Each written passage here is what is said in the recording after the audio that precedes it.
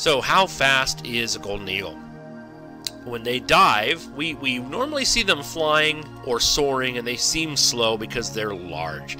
But when you actually see one dive or chase, you realize how much faster they are. So, on a dive, they can go uh, at top speed is about 110 miles an hour. Picture dropping a bowling ball out of an airplane. Now, in level flight, they go about 60 or 70 miles an hour. Now, they don't, when they're actually hunting, it may not seem that fast because they have big wings and the flaps are long.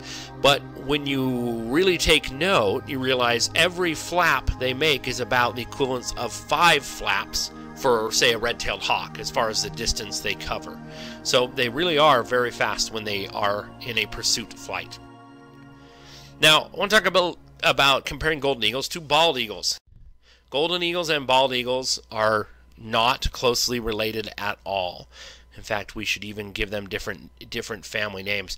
Normally, uh, golden eagles are considered to be true eagles, members of the Aquila or true eagle family, and bald eagles are members of the sea eagle family, which came from an entirely different family line. Now, bald eagles are a bit more social. They'll they'll roost in large congregations. Golden eagles will not do that. Now, if you look at this picture, this may look like a bunch of bald and golden eagles. These are all bald eagles. Bald eagles start almost black or dark chocolate brown their first year, and over five years eventually get the white head and white tail. Uh, same thing, a lot of people might think this is a golden eagle chasing a bald eagle. It's not, it's an adult and a juvenile bald eagle.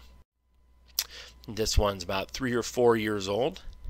And that tail is what we call a salt and pepper tail. That's the closest uh, bald eagle tail will get to the uh, Native American headdresses we saw earlier, which again were actually one-year-old golden eagle tails. Now, golden bald eagles have a long and lurpy neck. And if you see this bird's head stretched out, its head is not white as an adult. It's its head and its entire neck. But they poof the feathers out in a way that makes them look like they have a much larger head than they do. Bald eagles are specialists at being slow. They can travel fast, but their real gift is to be able to slow down over water and pluck a fish off the top of the water. Uh, they rarely dive. We like to think they do. Uh, another bird of prey, an osprey, is known for diving, but bald eagles will avoid any kind of a dive if they can. They're much better at plucking off the surface. So the secondary feathers on a bald eagle are much longer than that on a golden eagle. They will catch birds. This is pretty gutsy of a bald eagle going after a swan. I've seen pictures of them plucking small uh, blackbirds out of the air. So they can have agility like a golden eagle, but they prefer to hunt mostly fish. Let's compare the feet. This is golden eagle feet. The talons, especially the inner talons, are very long. The toes are long, and they're very knobby. They're very textured, which helps them get a good grip on their prey where bald eagle feet are much stumpier. The middle toe is long, but the other toes are short, and the, the texture is, is not nearly as much uh, of, uh, of uh, texturized surfaces on, on the golden eagles.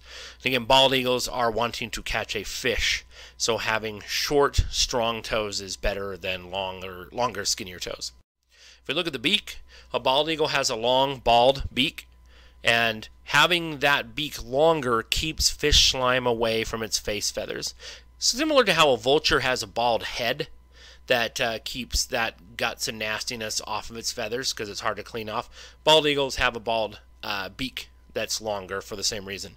Now, golden eagle has a shorter, thicker, wider beak that is uh, better for sorry not not wider a shorter thicker a narrower beak that is good for cutting and breaking into bones and into a carcass. And you can see some of the feathers actually do extend out to the nostril so it's not entirely bald as it is on the bald eagle. And we can see the two side by side. These two are both wearing hoods so that they won't, well, the golden eagle would try to attack the bald eagle in this instance. So uh, you can see on the right, the bald eagle has a short tail by comparison, long secondary feathers and shorter primary feathers that help him slow down to catch fish. The golden eagle on the left has a longer tail, shorter secondaries, and longer primaries. So a golden eagle is built for speed and maneuverability. A bald eagle is built for to be slow and to be able to power up after catching a fish. Now, I want to show you the legs as well as we wrap up here.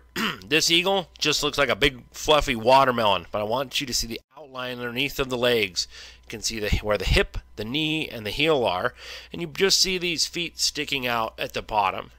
Now compare those lengths, which are quite long, to on a golden eagle. They're much longer. So golden eagles can stand taller compared to their bald eagle counterparts when they're scared and stretch out their legs. Normally, both eagles adopt the posture you're seeing in these two photos, but when they're scared, they can stretch their legs all the way out and can stand about four feet tall uh, and about three, three and a half in the case of a bald eagle. So, I hope you enjoyed hearing just a few of the basics about golden eagles here in uh, western United States. They're amazing creatures and they deserve our protection and our care. Uh, we they have become almost mythological. If you get a chance to see one in person, please do, because I think it's far more amazing to know them in person and actually understand that in addition to being a symbol of the wild, they're also living creatures that, that do need our protection and, and, and do deserve some of our reverence.